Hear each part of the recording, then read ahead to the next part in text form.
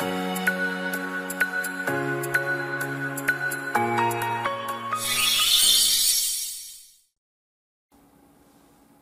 い、こんにちは、レトスノーです。今回なんですけれども、使用者責任民法715条について解説いたします。まず、どういった内容かっていうと、費用者、まあ、いわゆる従業員ですね。従業員が使用者、会社の事業の執行につき、他人に損害を与えた場合、使用者も損害賠償責任を負いますよ。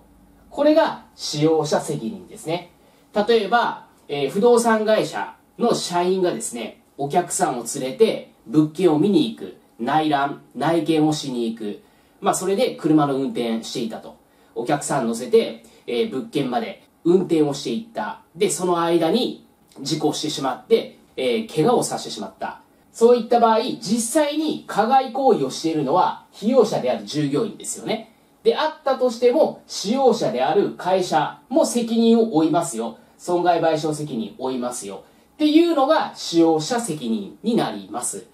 つまりちょっとこちらを見ていただきたいんですけども、費用者、今の従業員ですね。従業員がお客さんだったり、または別の人に対して怪我をさせてしまった。こういった場合、怪我をしてしまったお客さんだったりとか、まあ、相手方っていうのは、会社に対して使用者責任に基づいて損害賠償請求をすることができますよっていう話なんですね。で、ちなみに被害者は、この費用者、つまり実際に運転していた従業員に対しても損害賠償請求できるんですけども、これっていうのは一般不法行為に基づいて損害賠償請求ができるんですね。こっちは使用者責任に基づいて損害賠償請求するんじゃありませんので、この内容じゃないんですね。この内容じゃなくて民法709条、故意過失によって他人に損害を与えた場合、この場合は損害賠償責任を負いますよっていう内容。これが一般不法行為責任です。なので、同じ損害賠償請求ができるにしても、一応適用される法律は違うんですよっていう話ですね。で、ちなみに、使用者も費用者も被害者に対して全額損害賠償責任を負わなければいけないので、この点もちょっと合わせて頭に入れておきましょう。で、ちょっとこちらに戻ります。で、事業の執行につきなんですけども、これは外形で判断をします。外観から見て、あ、その人は事業を行ってるな。事業っていうのはまあ仕事上って考えていただいて大丈夫です。あ、仕事上の行為をしているなっていうのであれば、これは事業の執行とみなされます。例えば、スーツを着て、営業車に乗って、で、事故をしてしまったって言った場合、これは、旗から見たら、周りから見たら、仕事しているように見えますよね。営業活動をしているように見えるわけです。たとえその人がプライベートでしたって言ったとしても、それは外形から判断したら、それはもう仕事上でしょう。仕事上に見えるので、この場合は使用者責任問われる場合があるよってことですね。で、一応使用者っていうのは、まあ、会社だけじゃなくて、まあ、事業を監督するもの、これも含みますよってことです。で、事業を監督するものなんですけども、これ例えばなんですけれども、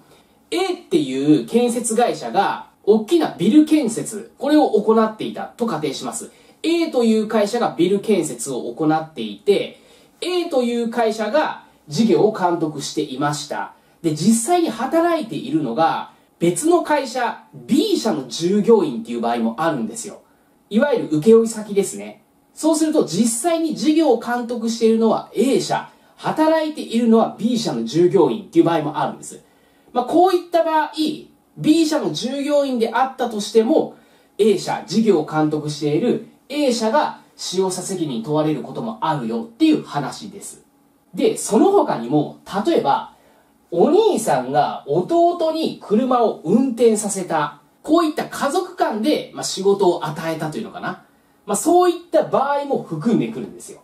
また、暴力団員が、その暴力団の、まあ、経済活動の一環として暴力行為を行う。そういった場合も使用者責任に問われる場合があります。お兄さんだったり、この暴力団のトップだったり、こういった人が使用者責任に問われる場合もあるんですね。つまり、実質的に指揮監督関係があれば、営利性がなかったとしても、それは使用関係があるとみなされるんですね。上で言うと営利性これありませんよね。お兄さんが弟に車の運転頼んだ。でも、そのお兄さんと弟の間で指揮監督関係があるとみなされた場合、つまりお兄さんが弟に指示をしていたとか、まあそういった場合ですね。そういった場合、使用者責任問われる場合もありますよってことです。あと、暴力団のトップと暴力団員。これも実質的に指揮監督関係があるとみなされると、これは使用者責任問われる場合がありますんで。単に仕事だけじゃないんですよ。まあ、今回ここではね、わかりやすいように従業員と会社って書いてあるんですけども、そうじゃない場合も含めて、使用者責任問われる場合がありますんで、注意をしておきましょう。で、例外があって、使用者が専任監督について相当の注意をしていた場合は、これは使用者は免責、責任を負わなくてもいいですよっていうルールになっています。で、使用者が選任について相当の注意をしていた場合なんですけども、まあ、これはですね、まあ、ちゃんとした人を、まあ、選んでいた。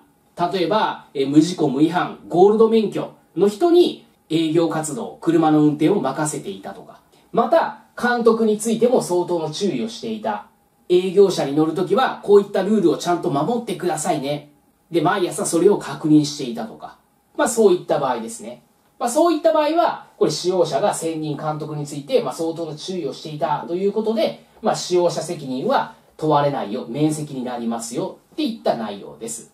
まあ、逆にそうじゃなかったといった場合、これは使用者責任を負いますよ。原則通り使用者責任を負いますよっていう話ですね。で、続いて、初めにもお伝えしたんですけども、使用者も費用者も、ま全額賠償責任を負うわけですよね。費用者は一般不法行為責任に基づいて損害賠償責任を負います。一方で使用者は使用者責任に基づいて損害賠償責任を負います。で、どちらも全額損害賠償債務を負っているという状況ですよね。で、ここで、例えば使用者が全額賠償したといった場合、使用者は費用者に対して求償ができます。つまり一部負担してくださいよって請求できるってことですね。逆に、費用者が全額賠償したといった場合も、費用者は使用者に対して一部負担してくださいっていうふうに請求できるっていう話です。まあ、求償できる。求償し合うって感じですね。で、じゃあ、どれだけ求償できるのかというと、損害の公平な分担という見地から、審議則上を相当と認められる限度において求償できますよ。っていうふうに判例では言ってるんですね。これどういうことを言ってるかっていうと、簡単に言えば、使用者の方がこれ責任重いよね、と言った場合、使用者が全額賠償しても、ちょっとしか費用者に求償できませんよっていう話です。で、一方で、使用者、そんなに責任多くないと。どちらかというともう、費用者の方が責任があるでしょって言った場合は、使用者はたくさん費用者に求償できますよっていう話です。逆も一緒ですね。費用者が全額賠償して、費用者の方が責任重いというのであれば、費用者はちょっとしか使用者に求償できません。一方で費用者は、ま、少ししか責任ない。使用者の方が責任大きいといった場合は、費用者はたくさん求償できるよっていった話です。一応この言葉ですね、言葉は覚えておいた方がいいと思います。損害の公平の分担という見地から、審議則上相当と認められる限度を求償できるよっていう話ですね。これはどちらからも一緒です。費用者から求償する場合も、使用者から求償する場合も考え方は一緒なんで、頭に入れていただければと思います。で、今日は使用者責任について解説したんですけども、これ非常に重要な内容なんで、ぜひ全部頭に入れていただければと思います。そして最後に、弊社レトスは現在短期集中実用カップ講座を開講しております。これまで勉強してきたけども実力がつかない。どうやって勉強したらいいのかがわからない。試験日までの計画が立てられない。わからない部分について質問がしたい。忙しくて時間がないけど今年絶対合格したい。もしそう思っているのであれば、短期集中実用カップ講座であれば、今お話しした5つの課題全て解決することができます。無理なく、無駄なく、効率的に勉強していくのが短期集中実用カップ講座です。一緒に勉強して合格を目指しましょう。あなたの受講お待ちしております。短期集中実力アップ講座はこの動画の下の概要欄に URL 貼っておきますんで、ぜひご確認ください。あなたの受講お待ちしております。